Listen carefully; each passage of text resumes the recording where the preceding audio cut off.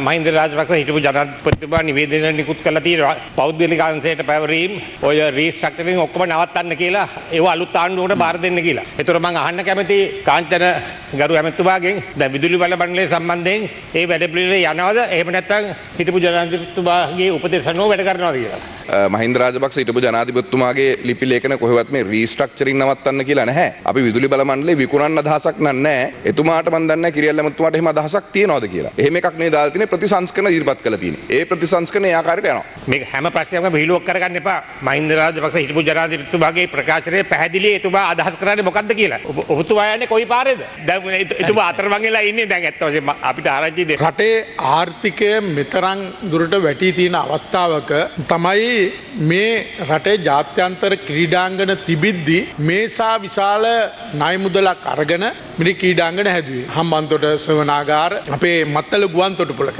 ගෙම ලෝක කුසලානයක් ලංකාවේ තියන්න නම් ක්‍රීඩාංගන පහක් අවම වශයෙන් ලංකාව තුළ තියෙන්න ඕනේ. SSC ක්‍රීඩාංගන තිබ්බා ඕවල් එක සවරණුත්තු ක්‍රීඩාංගන තිබ්බ ඒ වගේ ඒවා ඊට වඩා ලොකු අඩු මුදලකට ඊට වඩා ලොකුවට සංවර්ධනය කරන්න තිබුණ එක මගේ පෞද්ගලික මතය. මේ ළඟදි දවසක තවත් ක්‍රීඩාංගනයක් ලංකාවට අවශ්‍යතාවයක් තියෙන නිසා අපි හෝමාගම ආ, මහින්ද රාජපක්ෂ අර දියගම ක්‍රීඩාංගනේ එතන ක්‍රිකට් ක්‍රීඩාංගනයට වෙන් කරලා තිනවා. ඒකේ වැඩ කටයුතු පටන් ගත්තම ලංකාවට ඉන්ටර්නැෂනල් ස්ටේඩියම් පහක් ලැබීම තුළ ලංකාව තුළ වර්ල්ඩ් කප් එකක් තිබීම හරහා විශාල ලාභයක් ගන්න පුළුවන්. පරායවල් ගුවන්තොට බල්ල හදර හදනකොට මහින්ද රාජපක්ෂ ජනපත්තුමාට කඩේ ගියපු අය තමයි මේ ප්‍රශ්නය අහන්නේ. ඉතින් හම්බන්තොට දිස්ත්‍රික්කයට මේවා උරුම නැද්ද? දැන් මේකේ ප්‍රශ්නය තියෙන්නේ මේ හදන එක නෙවෙයි. මේවා හරිය කලබනාකරණයක් කරලා මේවා හැදුවට පස්සේ ව්‍යාපාර ගෙදන්න ඕන. උරුමේ වැඩසටහන ඉඩම් හිමිකාරිත්ව වැඩසටහන නාගරික නිවාස හිමිකාරිත්ව වැඩසටහන සහල් බෙදා දීමේ වැඩසටහන ග්‍රාමීය මට්ටමින් අධීක්ෂණය කරන්න පළාත් පාලන ආයතන හරහා ක්‍රියාත්මක කරන්න කියලා ප්‍රජා උපදේශක කමිටුව හදන්න කියලා. මේවා ක්‍රියාත්මක කරාට අපිට කිසි ප්‍රශ්නයක් නෑ ඔබතුමාලා ඒවා කරගන්න. වහලා දාලා තියෙන පළාත් පාලන ආයතන ටික නැවත හිමීට දොර අරින්න හදන්නේ මේ ක්‍රියාදාමය හරහා.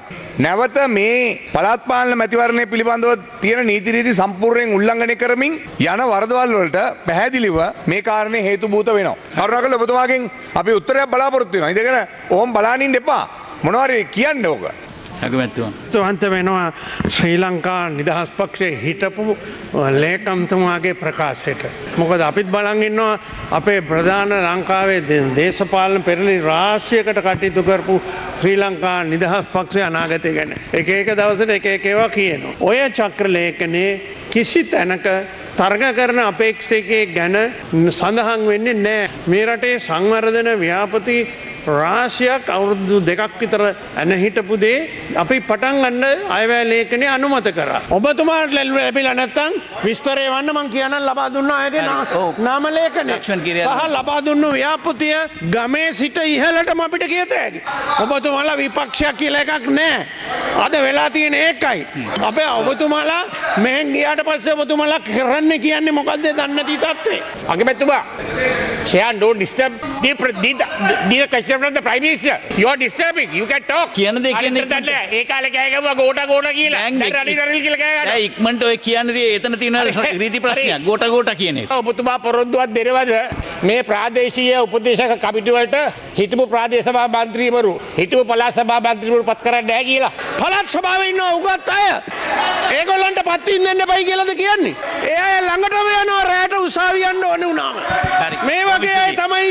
මේ දෙබිඩියාවෙන් කතා කරන්නේ. අපි චක්‍ර ලේඛනයේ තරග කරන අපේක්ෂකෙක් පත් කරන්න කියලා අවසරයක් ඒ චක්‍ර ලේඛනයේ අරගෙන නැහැ. මං ආපු ප්‍රශ්නෙට උත්තරයක් දුන්නේ නැහැ. දුන්න නැත්නම් ආයි ඉල්ල ගන්න. වෙන වෙලාවට.